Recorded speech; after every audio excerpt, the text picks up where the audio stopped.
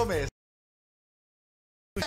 desta segunda-feira. Chega juntinho aqui, meus amores, você que nos assiste em todo o estado da Paraíba, preparados para mais uma semana de receitas deliciosas. Ah, semana que também tem um feriado prolongado de final de semana, o feriado da padroeira do Brasil. Né? Então tem sexta-feira agora, dia 12, é o dia das crianças, mas é o feriado é do Brasil, tá, gente? Não é por causa do Dia das Crianças, não. Se fosse Dia das Crianças, a gente ia dar um chocolate, um pirulito, uma pipoca, já tava bom. Não, não, mas é por causa da padroeira do Brasil, tá, gente?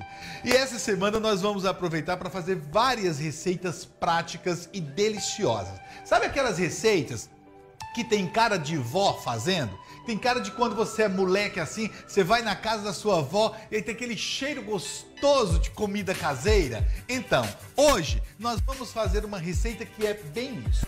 Só para você ter uma ideia, nós vamos preparar um bolo ou torta, seja como você queira chamar, de banana com leite condensado que, gente, gente do céu.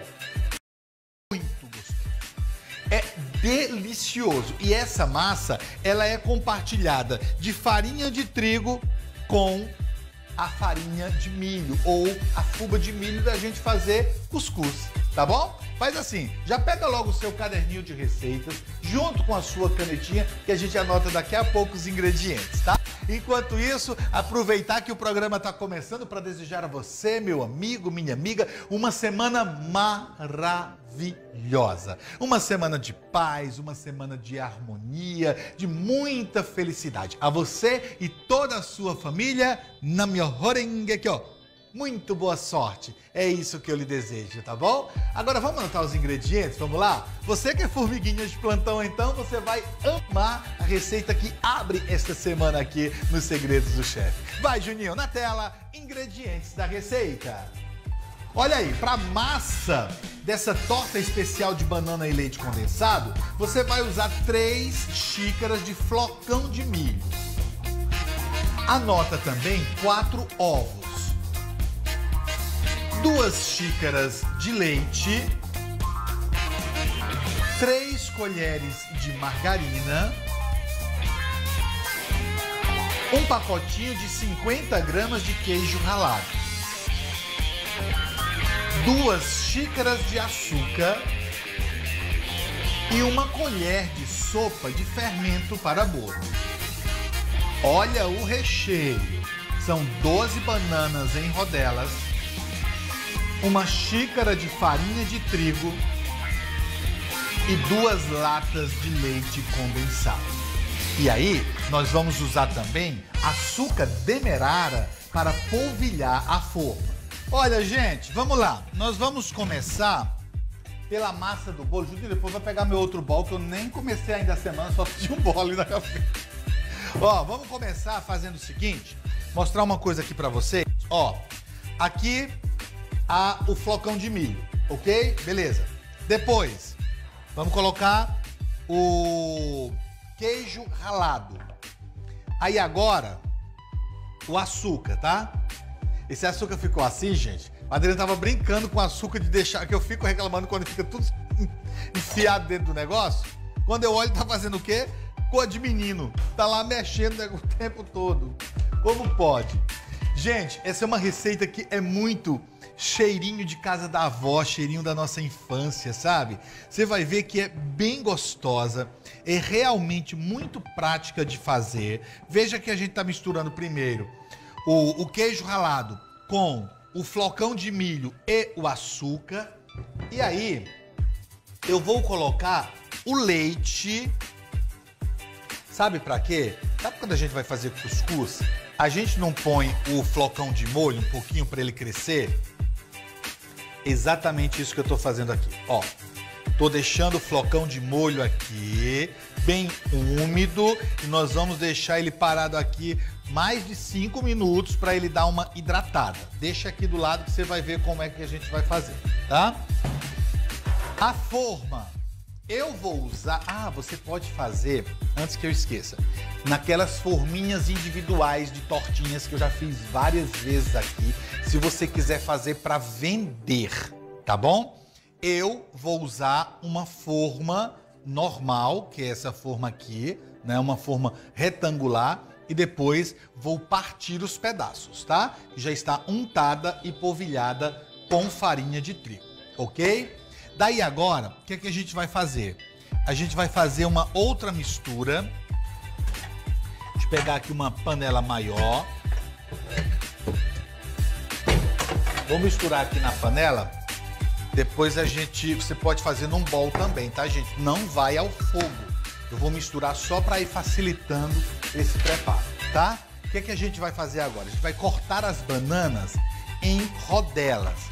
E não adianta você dizer, ah, 12 bananas. São 12 bananas. Se não for, se você não colocar as 12 bananas, o sabor não vai ficar mais nem perto do que fica o nosso, tá bom? Bolo especial de banana com leite condensado. Olha, gente, teve um dia conversando com a Gabi, falei, Gabi, banana nanica é a melhor banana para fazer bolo. Ela lembrou, compra banana nanica, é muito gostoso. Ó, a gente faz aqui as rodelas tá? Depois eu vou deixando aqui a bancada para não ficar com muita banana em cima da bancada, né? Porque vai rolando, vai caindo em cima da bancada.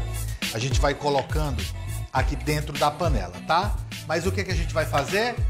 12 bananas em rodelas. Acompanhe.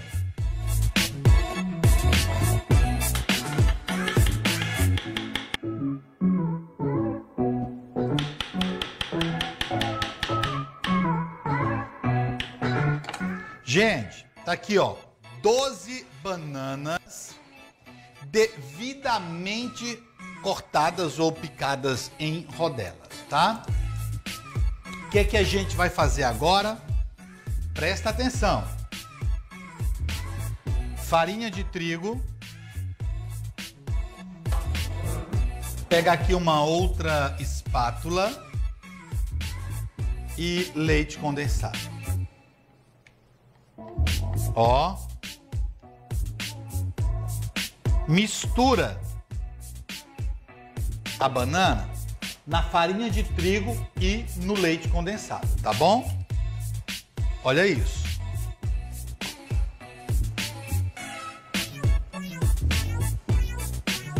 Presta atenção nesse detalhe dessa receita. Nossa, que coisa maravilhosa, gente. Tem nem como dizer o quanto, hein? Hum. Show demais. Prontinho, tá? Deixa eu tirar aqui para poder a gente já ir vagando um espacinho aqui em tudo que a gente está fazendo, né? E poder organizar melhor também essa receita para você, tá? Vamos lá. Ó. Tirar a tábua. Daí agora, vamos dar uma olhadinha como tá aqui a massa do desse nosso bolo, essa torta especial de banana com leite condensado. Olha isso, ó, já completamente hidratada a parte da do flocão de milho, né? Agora eu vou colocar os ovos. Eu já ia chamar amido de milho, né? É o hábito de sempre chamar amido, mas é flocão de milho mesmo esse de fazer cuscuz, tá? São quatro ovos. Esse eu vou deixar ele um pouco na medida do que, do que diz respeito à manteiga, mas se você quiser deixar o seu bem amanteigadinho, bem gostoso, aí você aumenta mais umas duas colheres de sopa de manteiga ou margarina, tá bom? Aí vai ser pela sua escolha como você vai querer a consistência dessa torta, tá bom? Aí agora, ó, mistura bem e aproveita, já põe aqui o fermento para bolo, que é uma colher de sopa. Mas é uma colher de sopa mesmo, tá, gente? Não vai colocar o fermento menos, não, que aí o bolo não cresce, o bolo não vai ficar bacana, não vai ficar aquele bolo maravilhoso, tá? Faz tudo medindo direitinho, que é para no final dar tudo certo e a receita ficar simplesmente maravilhosa, tá? Olha isso, ó. Mistura bem. Agora o que eu vou fazer? Eu vou colocar 20 segundinhos só para derreter a manteiga, para não ficar pedaços de manteiga separado, para a gente envolver bem, tá? 20 segundinhos aqui no micro-ondas.